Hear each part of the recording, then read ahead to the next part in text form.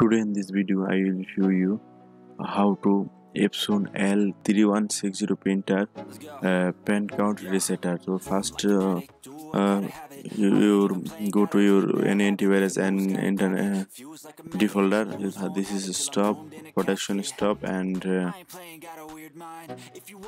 uh, Epson. This is a file my Facebook page download link and uh, here so download this and unzip this is file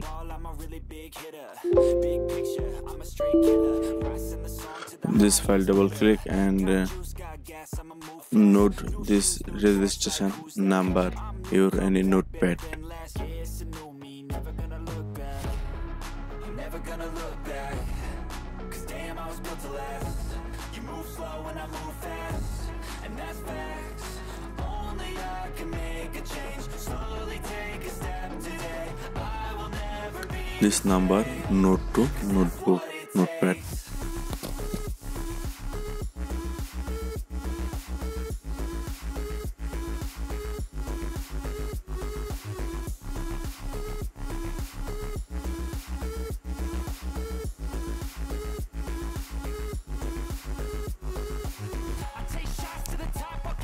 notepad complete so minimize this is okay and uh, go to same file and break and key generate here double click.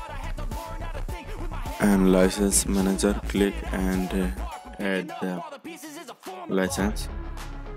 And here customer name.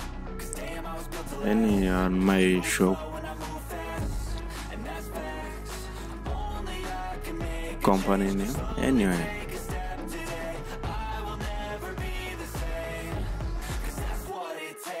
and notepad uh, note this uh, number registration number copy and uh, paste hardware id here paste and uh, save.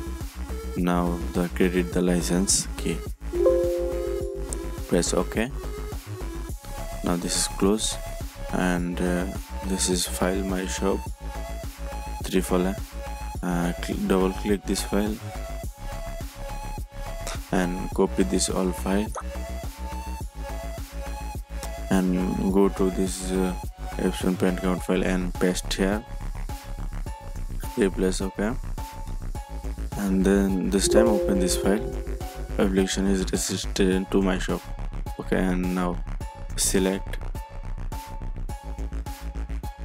And auto selection this is USB 3 my uh, Epson printer 3160 series. And okay Factory object mode.